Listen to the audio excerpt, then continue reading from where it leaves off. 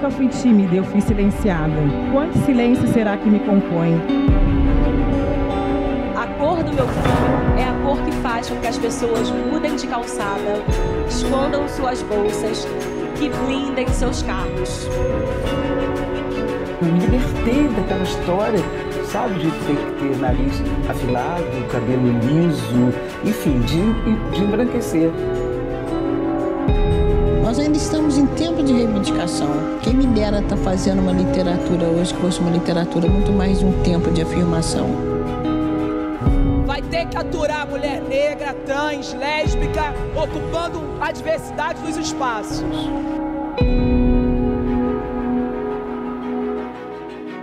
Na década de 1980, um estudo pioneiro analisou dados populacionais, separou por gênero e raça e apresentou conclusões contundentes e fundamentais para a compreensão do impacto do machismo e do racismo no Brasil. A desigualdade entre homens e mulheres, brancos e brancas, negros e negras ficou escancarada ali. A autora desse estudo estava começando a produzir conhecimento transformador. A escritora, filósofa e ativista Sueli Carneiro é fundadora do Instituto da Mulher Negra Gueledés e a nossa convidada hoje, porque conhecer a luta das mulheres negras no país pode nos ajudar a entender que Brasil é este com 200 anos de independência. A voz de minha bisavó ecoou criança nos porões do navio. Ecoou lamentos de uma infância perdida. A voz de minha avó ecoou obediência aos brancos donos de tudo. A voz de minha mãe ecoou baixinho, revolta. Sueli, um prazer poder conversar com você. Eu queria começar o programa te perguntando sobre o mito da democracia racial. Como é que esse mito se construiu? Qual é o impacto dele na sociedade ainda hoje? Veja, eu acho que é uma das ideologias uh, mais uh, perversas e perfeitas, né, do ponto de vista da sua capacidade de produzir efeitos deletérios sobre um determinado grupo. Né? Rigorosamente, do ponto de vista legal, somos todos iguais perante a lei, sem, sem distinção de nenhuma ordem, né? especialmente de raça, gênero, etc é uma afirmação muito né, forte, categórica, quando comparado com outros países em que existiu segregação legal, como nos Estados Unidos, ou apartheid né, legal, como na África do Sul. E sempre esses países foram usados aqui internamente para demonstrar ausência de segregação legal aqui, de qualquer forma de restrição legal a pessoas negras, indígenas. É, essa ausência de uma, de uma de uma legislação que distinguisse as pessoas sempre foi utilizada como a, a evidência da ausência de discriminação racial. E, no entanto, ao mesmo tempo, ela se constituiu num instrumento a partir do qual esta assertiva legal ela assegurou que as pessoas fossem a experiência de discriminação racial fosse generalizada na sociedade e sem que se pudesse buscar amparo legal para combatê-la. Afinal, não há legalmente, né, não há discriminação, então os negros estão reclamando do quê? A segunda evidência que corroborava essa ideia é da larga miscigenação. Sempre alardeando que no Brasil o fato de existir uma larga miscigenação era indicativo de tolerância racial quando se escamoteia nessa afirmação o fato de que essa larga miscigenação foi construída, primeiramente, com o estupro colonial praticado contra mulheres indígenas e depois contra mulheres africanas, o que as pesquisas genéticas confirmam contemporaneamente, não é? O, como essa miscigenação se, se processou. Mas ela sempre foi utilizada como uma, uma, uma suposta tolerância uh, e, e, boa vontade do colonizador né, português em relação aos seus escravizados. Os estudos sobre desigualdades, as desigualdades raciais existentes no Brasil foram corroendo, não é, essa mitologia, essa ideologia uh, e hoje, quer dizer, esses esforços de desmascaramento da falácia dessa igualdade de direitos e oportunidades né, na sociedade brasileira, eu acho que esse mito ruiu e nós estamos agora diante da, daquilo que ele sempre escondeu, né, com a sua etiqueta social. Ele sempre instituiu uma etiqueta segundo a qual não existe racismo no Brasil, é uma coisa que os brancos repetem sistematicamente e os negros, se têm juízo, confirmam. Mas a gente está perdendo o juízo cada vez mais, cada vez mais denunciando, desmascarando e o fato da, de este fato de desmascarar a farsa da democracia racial tem impulsionado a necessidade de encontrar remédios para a redução das desigualdades raciais que são evidentes, tanto a luta quanto os remédios que, que estão sendo produzidos, promovidos, têm também uh, desencadeado o agravamento do conflito racial, porque a branquitude tem reagido cada vez de forma mais violenta a esse avanço da, da questão racial no Brasil. Então, eu queria falar exatamente sobre isso agora, Sueli. Você também disse que construir um movimento negro robusto é um temor das elites desde a Revolução do Haiti. O movimento negro se inicia com o desembarque do primeiro negro escravizado aqui no Brasil. Né? No primeiro navio negreiro trouxe, né, evidentemente, o germe da resistência e da reação. Então, desde sempre existiu uh, a resistência negra à escravização uh, e o símbolo mais emblemático né, dessa resistência é o Quilombo dos Palmares, né, que é do século XVII e que, e que resistiu durante 100 anos não é, ao avanço né, das forças coloniais. O primeiro Estado livre de todo o continente americano surgiu no Brasil e foi criado pelos negros, pelos negros que resistindo à escravidão, se dirigiram para o sul da capitania de Pernambuco, atual estado de Alagoas, a fim de criar uma sociedade livre e igualitária. A experiência de resistência quilombola é uma experiência que aconteceu em todo o território nacional e é, foi uma das formas mais agudas não é, de, de resistência à escravização. Múltiplas outras formas de resistências foram desenvolvidas e de organização política dos negros para vencer a escravidão. Agora, todo esse conjunto de, de situações foram ocultadas pela historiografia oficial. A história oficial a história dos vencedores. A história oficial a história dos opressores. A história uh, oficial a história da, dos grupos hegemônicos. E, portanto, toda essa tradição uh, de resistência e luta contra o racismo, contra a escravidão, contra a discriminação, é uma história uh, que foi apagada e que cada vez mais também faz parte das estratégias dos movimentos negros contemporâneos o resgate dessas experiências.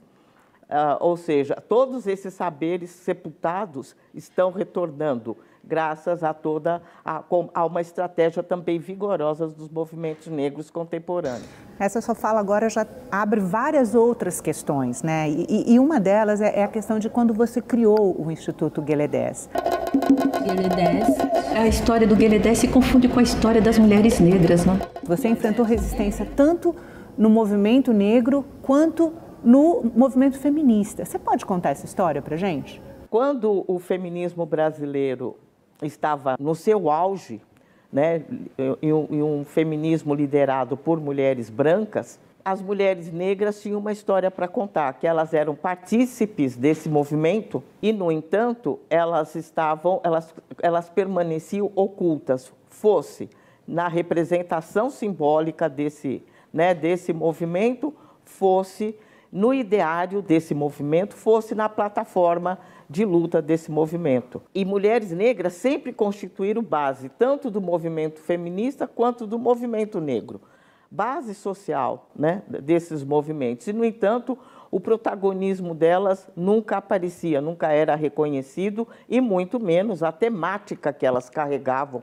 a contribuição que elas, que elas traziam para expandir o ideário feminista e para evidenciar as demandas específicas que esse grupo social trazia, foi a ausência dessa compreensão, desse acolhimento, fez com que nós percebêssemos que teríamos que criar instrumentos próprios, instrumentos políticos próprios de luta que nos desse capacidade de incidência, que nos, uh, que, que, que nos tornasse potentes o suficiente para sermos ouvidas e respeitadas, fosse pelos movimentos feministas, fossem pelos movimentos negros e, sobretudo, em que nós pudéssemos fazer emergir não é, as lideranças femininas, negras, não é, que estão aí hoje presentes né, na sociedade brasileira com esse vigoroso feminismo negro que felizmente emergiu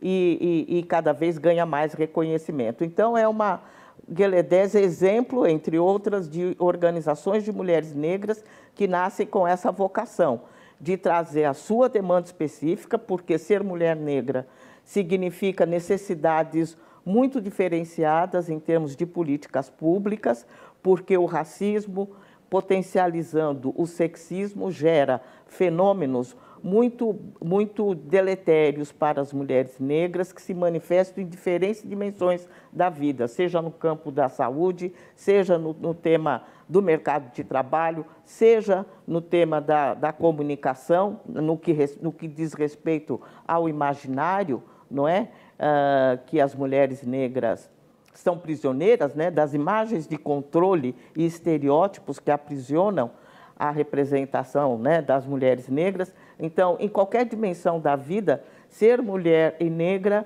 uh, nos, uh, nos, nos obriga a construir projetos e propostas diferenciadas para poder vencer essa, essa tripla, essa tripla uh, contradição a que as mulheres negras estão submetidas, que são as, as, as, as discriminações de gênero, raça e classe que se sobrepõem para fazer com que as mulheres sejam, as mulheres negras sejam aquilo que eu sempre digo, estejam permanentemente numa situação de asfixia social, na medida em que uma dessas dimensões impede, uh, uh, impede que as mulheres negras possam progredir. Quando uh, se vence a barreira do racismo, há o sexismo. Quando se vence a barreira do sexismo, há o racismo. Quando se supostamente se pode vencer ambas, ainda tem a contradição de classe ali na frente nos esperando. Nós não somos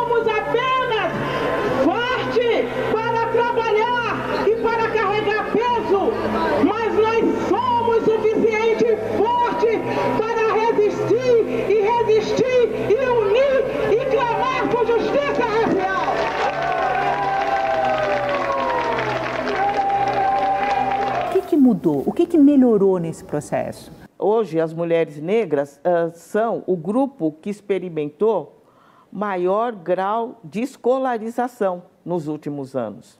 E isso é uma vitória, uh, por exemplo, das políticas de cotas, é uma vitória do nível de conscientização que as mulheres negras estão adquirindo sobre o papel estratégico, por exemplo, que é a educação, sobretudo, né?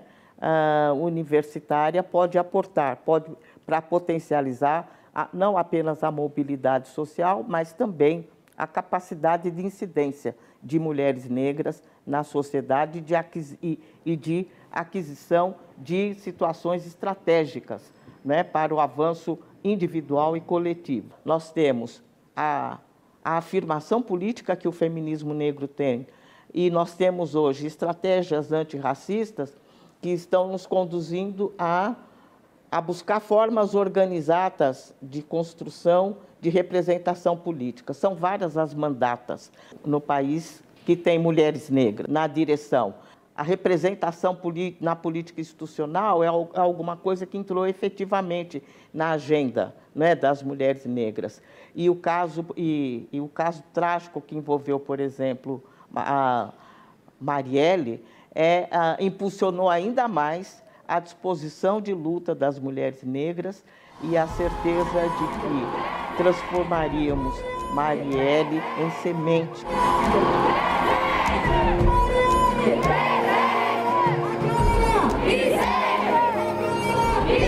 Tem também estratégias de empreendedorismo né, muito pujantes que estão sendo lideradas por mulheres negras, que valeriam a pena, não é um reconhecimento maior público, né? Então eu acho que há um sujeito político novo chamado Mulheres Negras e que traz uma agenda, uh, uma agenda nova que, que faz avançar a democracia no Brasil, que pede radicalização dessa democracia e radicalizar essa democracia significa um novo pacto racial, um novo pacto de gênero que permita que todas, todos e todes tenham expressão real, tenham um lugar efetivo, tenham sua cidadania e dignidade humana respeitadas nesse país. É essa a contribuição que as mulheres negras trazem. Porque para que nós possamos ser contempladas, há que radicalizar a democracia. E para radicalizar a democracia é preciso desalojar todas as hierarquias instituídas que oprimem, discriminam e impedem a realização da dignidade humana de todos. Depois da política de cotas, há uma diferença relevante na escolarização da população negra e das mulheres negras? Sem dúvida. Eu, estão sendo produzidos e, e, e em vias de serem lançados vários diagnósticos, vários relatórios com avaliação desses 10 anos de políticas de cota né, pela lei e os 20, né, que é o universo. E, e, e todos eles atestam que há uma mudança extraordinária. O, camp, o campus universitário adquiriu não é, uma, uma diversidade uh, jamais vista e, ou imaginada, já que uh, tradicionalmente parecia um campus escandinavo, né? Até, até antes desses 20 anos. O que se tem são uma multiplicidade de corpos, mas, sobretudo, além dessa do colorido, não é, que uh, as universidades adquiriram, há, sobretudo, também o, o impacto uh, que essas, esses corpos não brancos produzem sobre o fazer acadêmico, a produção dos saberes. Então, há, todo, há, há em curso toda uma efervescência também, toda uma efervescência uh, uh, do quanto esses corpos carregam de novas perspectivas epistemológicas, novas perspectivas metodológicas, a pressão que esses corpos exercem pela, pela incorporação, pela universidade, de novas categorias que sejam capazes de compreender a experiência particular que esses corpos carregam. Então, eu creio que uh, nós estamos no limiar de ver também mudanças epistemológicas uh, muito importantes não é? Uh, na produção de, dos saberes, na produção de conhecimento né? nesse país. E essas mudanças devem nos conduzir a nos ver e a, e a termos um conhecimento menos enviesado, menos eurocêntrico, né, menos, menos domesticado nos parâmetros né, uh, do, uh, de produção de conhecimento uh, do Ocidente e mais incorporando cada vez mais eh, todas essas outras dimensões de possibilidades de ser e conhecer que esses corpos historicamente excluídos trazem. A luta não vai parar! Os exploradores do negro não vão ter descanso enquanto toda a nossa nação negro-africana não for definitivamente negro. Sueli, o Abdias acusou o genocídio da juventude negra. E você disse no podcast do Mano Brown que se você fosse homem, você já estava morto. O que, que ainda está acontecendo? Eu que pergunto, é como é que a gente consegue coexistir nessa sociedade com esse processo sistemático e permanente de assassinato de jovens negros pela violência institucional, com esses indicadores de que a cada 23 minutos um jovem negro é assassinado. Eu duvido que alguém encontre no auge do apartheid na África do Sul, que encontre uma cifra dessa ordem. Eu duvido. Não existe país nenhum no mundo que isso possa acontecer com absoluta indiferença. Como é que se pode naturalizar essa matança? Como é que essa, essa sociedade não reage? Como é que essa sociedade não se rebela contra este absurdo? Como é que se pode dormir uh, sabendo que isto acontece diariamente nesse país? Como é que se pode aceitar que seres humanos sejam tratados dessa maneira? Outro dia eu estava conversando com uma professora e ela estava me falando uh, do filho dela, que tem 18 anos, e, ele, e, e que ele conta para ela o tempo todo, porque ela trabalha com relações raciais, né, academicamente, e o filho dela dizendo: mãe, é todo dia. Eu posso sair com. Eu sa... E ela é loira, o filho loiro, e, e o filho dela diz: eu posso sair com um cigarro de maconha na, no, na mão, fumar na frente de um policial e não me acontece nada porque eu sou loiro de olhos azuis. Mas qualquer negrinho que tiver do meu lado vai tomar geral. A geral, tomar a geral, é o, é o menor né, dos danos. Agora, qualquer moleque está exposto, em qualquer quebrada, em qualquer periferia, a ser assassinado gratuitamente. Como é que esta sociedade, que sociedade é essa que permite, que aceita, que coexiste, convive com esta monstruosidade. De que barro as pessoas desse país são feitas para poderem viver com isso? Não existe paralelo no mundo para isso. Temos medo, sim. Temos medo da polícia. Somos percentagem maldita. 77 dos jovens mortos são negros. São negros. Chega. Não queremos heróis e heroínas, nem militância morta. Chega! Qual é a fronteira da luta das mulheres negras agora? Nós temos que acreditar que outro mundo é possível. E nós acreditamos que outro mundo é possível.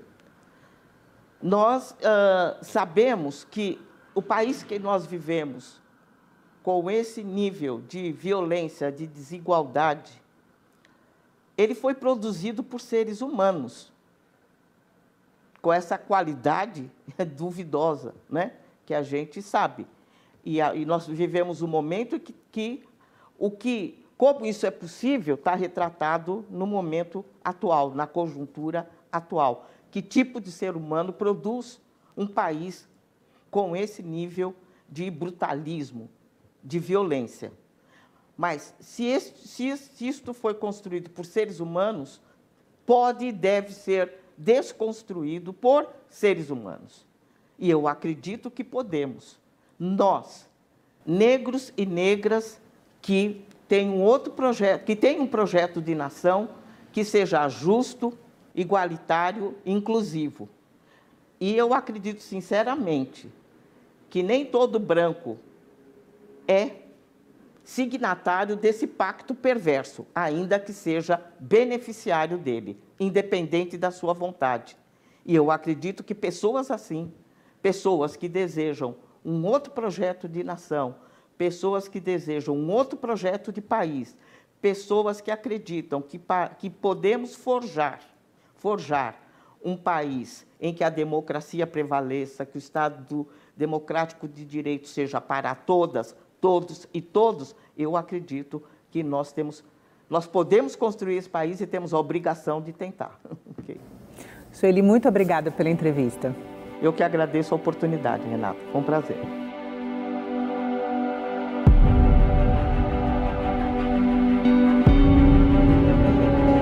Vozes Mulheres, Conceição Evarista.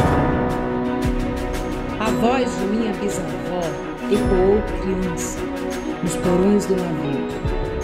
Ecoou o lamento de uma infância perdida. A voz de minha avó ecoou obediência aos brancos donos de tudo. A voz de minha mãe ecoou baixinho, revolta. No fundo das cozinhas alheias, debaixo das trouxas, roupagens sujas dos brancos pelo caminho empoeirado rumo à favela. Minha voz ecoa versos perplexos com rimas de sangue e fome.